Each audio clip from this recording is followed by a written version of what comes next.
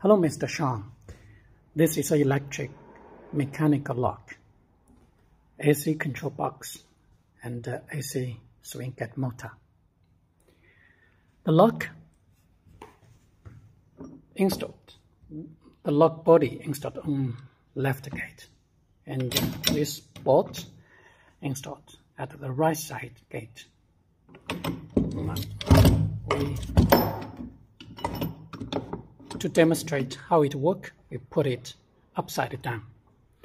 It has got two wires.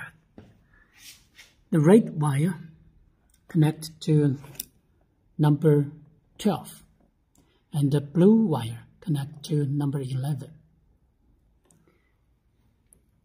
These wires are for the motors and uh, capacitor. After the connection, we can self-program the travel time after that, we need to do some special setting for the electric lock. Firstly, find the menu button, hold press for two seconds. One, two, and lose the button. Press the down button.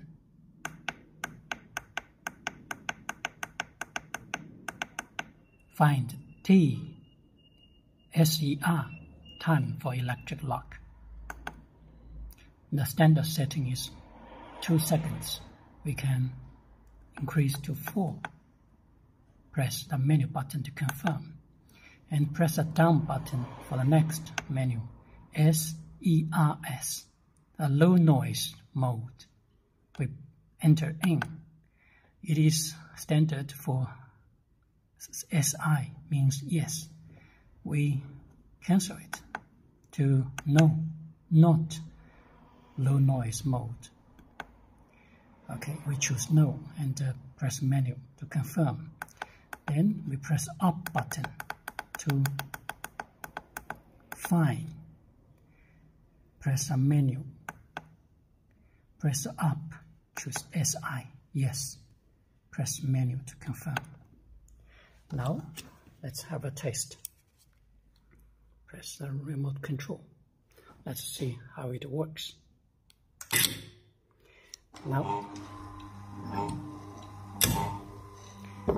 the lock released, the motor begin to open.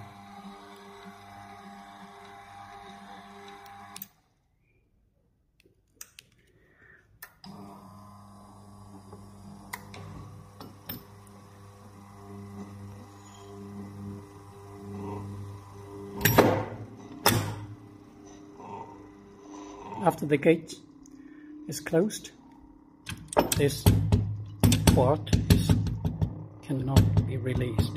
It is mechanically locked.